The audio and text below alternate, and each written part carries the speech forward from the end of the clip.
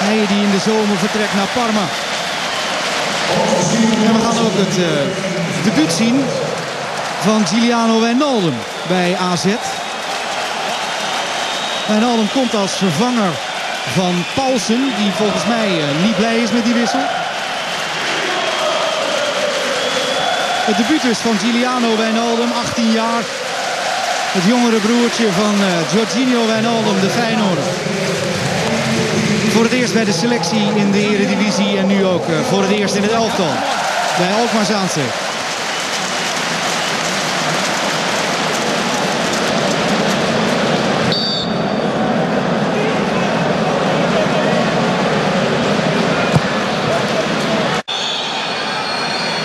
De Rijk blijft steeds vaker voorin. ADO moet ook risico's nemen. Buis, foutje 4 geven. Boulikin wil een uh, strafschop. Voelt zich uh, geraakt door Wijnaldum.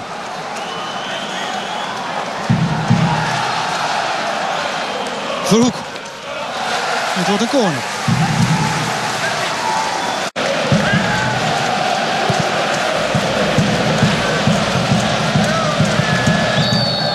Wijnaldum kegelt uh, Verhoek ondersteboven. De gelijkenis is treffend. Met zijn oudere broer. Niet vanwege die overtreding, maar u begrijpt wat ik bedoel. Van Verbeek. AZ viert feest. Want zij staan na vanavond op de vierde plaats. Zonder dat je verliest. En, uh, maar je moet wel zien dat zij de tweede helft goed uh, gevoetbald hebben. Niet echt open kansen gekregen hebben, maar wel uh, beter van het spel. Zijn jullie niet veel te voorzichtig geweest vandaag? Want jullie gingen eigenlijk pas voetballen. Voorbij de supporters van ADO die daar wat beteuterd op de tribune staan en zitten.